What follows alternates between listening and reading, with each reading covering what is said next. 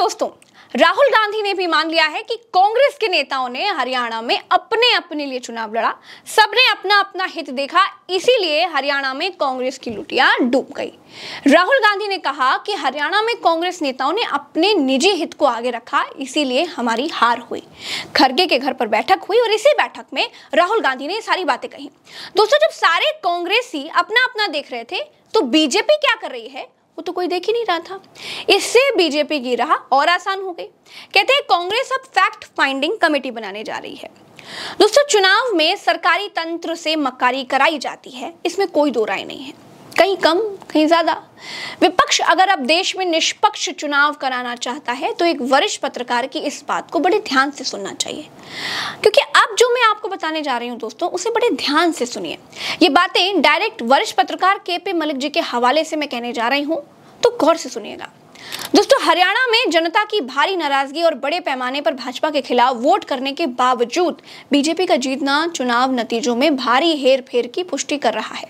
अब इंडिया गठबंधन, महाराष्ट्र और झारखंड चुनावों के परिणामों में भी धांधली होने की पूरी संभावना देख रहा है। जब तक मोदी प्रधानमंत्री हैं, तब तक चुनाव आयोग EVM ED CBI income tax आदि आदि जाँच एजेंसियाँ सब तो मोदी के हाथ में है।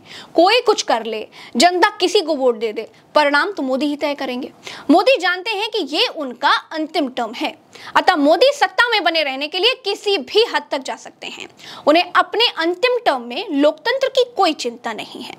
अतः अब महाराष्ट्र और झारखंड के चुनावों से पहले कांग्रेस, राहुल गांधी को मोदी को केंद्र की सत्ता से बेदखल करना होगा, वरना कुछ नहीं हो सकता। इसके लिए कांग्रेस को किसी भी कुर्बानी से पीछे नहीं हटना चाहिए। ये करो या मरो की स्थिति है। अब वक्त आ गया है कि राहुल गांधी कांग्रेस इस ब्रह्मास्त्र का उपयोग करे, जिसमें नीतीश कुमार को तत्काल प्रधानमंत्री पद ऑफ़र कर देना चाहिए। यदि नीतीश कुमार साथ आ गए तो चंद्रबाबू नायडू को आंध्र प्रदेश के लिए विशेष राज्य का दर्जा या फिर विशेष पैकेज देकर मनाया जा सकता है। सभी विपक्षी नेताओं, जैसे ममता बनर्जी, हेमंत सोरेन, अरविंद केजरीवाल, अखिलेश यादव, मायावती, लालू प्रसाद यादव आदि को मोदी ने एजेंसियों के माध्यम से फंसाया हुआ है। जिसका, जिससे चाहे गठबंधन करवा देते हैं, पार्टी तोड़वा कर सरकार गिरवा देते हैं। नीतीश नायडू माने तो तेजस्वी को तत्काल बिहार का मुख्यमंत्री बनाना चाहिए। अगले साल दिल्ली, बिहार और 2026 के मध्य में बंगाल में भी चुनाव है। अखिलेश यादव को समझना होगा कि उत्तर प्रदेश में 2027 में विधानसभा के चुनावों में भी कुछ भी हो सकता है। अतः इन स्थितियों में जीत की कोई गारंटी नहीं है। केंद्र में सरकार बदली तो चुनाव निष्पक्ष होंगे। अधिकारी, मीडिया, व्यापारी सब पलट जाएँगे। विपक्षी नेताओं की प्रताड़ना भी खत्म हो जाएगी। लोकतंत्र बचाना है तो कुछ अलग। कुछ बड़ा सोचना होगा। अब तत्काल महाराष्ट्र और झारखंड के चुनावों से पहले ही नीतीश को अपने पाले में लाकर बाजी पलटनी होगी, वरना 2029 तक ऐसे ही परिणाम आते रहेंगे। दोस्तों, ये कहना है देश के वरिष्ठ पत्रकार के पी मलिक जी का, जो उन्होंने कहा एक कांग्रेस नेता के हवाले से। लेकिन अब बात आगे की करते हैं। बात यह है कि भाजपा हरियाणा में जाटों को नहीं, पिछड़ों और दलित समाज के वोट जोड़ रही थी। ये कोई समझ ही नहीं पाया कांग्रेस तक नहीं समझ पाई। देखिए, मैंने हरियाणा के चुनाव को ग्राउंड पर जाकर कवर नहीं किया, वरना मुझे पता ज़रूर चल जाता। काउंटिंग में धांधलेबाजी वाली शंका से इतर इसके लिए बीजेपी की तारीफ़ करनी चाहिए। पत्रकार केपी मलिक जो कह रहे हैं, उनकी बात में भी दम है। जब तक मोदी के हाथ में पावर रहेगी, तब तक मोदी को हराना नामुमकिन है। जो राज्य बीजेपी को जीतना बहुत ज़रूरी होता है, उस राज्य में जन भावना जो भी हो बीजेपी जीत ही लेती है। ये कुछ तो इशारा करता है ना? अब बाजी नीतीश कुमार और नायडू के हाथ में है। इस लिहाज से भी कि बीजेपी बहुत जल्द इन दोनों पार्टियों को निगल जाएगी और इस लिहाज से भी कि अगर लोकतंत्र को बचाना है तो नीतीश कुमार को कड़े निर्णय लेने पड़ेंगे, क्योंकि अब चुनाव बिहार में भी है। क्योंकि बीजेपी ने आज तक जिस भी पार्टी से गठबंधन किया है, वो पार्टी बर्बाद हुई।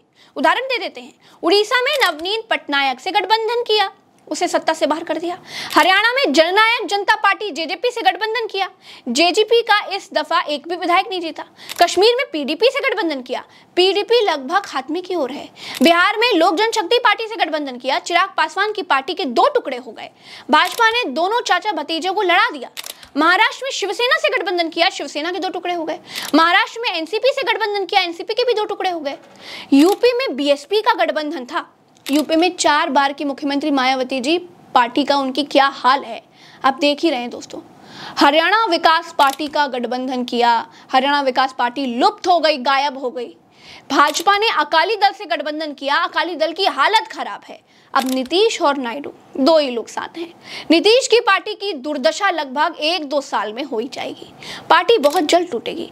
ललन सिंह भी अभी से बैठकों में नहीं आ रहे दोस्तों, इसके उलट जब आप कांग्रेस को देखेंगे तो पता चलेगा कि कांग्रेस ने जिन पार्टियों से गठबंधन किया है, वो पार्टियाँ आगे बढ़ी हैं। यस चाहे एनसीपी हो, चाहे समाजवादी पार्टी हो, चाहे आरएलडी हो, चाहे जेडीयू हो, चाहे टीएमसी हो, चाहे नेशनल कॉन्फ्रेंस हो, चाहे साउथ की पार्टियाँ हो, जीत हार तो लगी रही, लेकिन कांग्रेस ने पार्टियाँ नहीं तोड़ी। ये बात भी ठीक है कि कांग्रेस और बीजेपी दोनों नेशनल पार्टियाँ हैं। दोनों को अपना कद बड़ा करना है। इसीलिए एजेंसियों का इस्तेमाल तो दोनों करते हैं। लेकिन कांग्रेस बीजेपी की तरह अपने साथी दलों के लिए भस्मासुर नहीं बनी। ब्लैकमेलिंग की गई, लेकिन कांग्रेस की मानवता अपने साथी दलों के लिए ज़िंदा रही। केपी मालिक जी के मुताबिक अब देश में निष्पक्ष चुनाव और लोकतंत्र को ज़िंदा रखने के लिए नीतीश कुमार के हाथ में सत्ता देनी बहुत ज़रूरी है। दोस्तों, इस वीडियो में इतना ही। फिर मिलेंगे अगले वीडियो में। हमें दीजिए इजाज़त। चलते हैं। राम राम, दुआ सलाम। जय हिंद। चैनल को सब्सक्राइब ज़रूर कीजिएगा।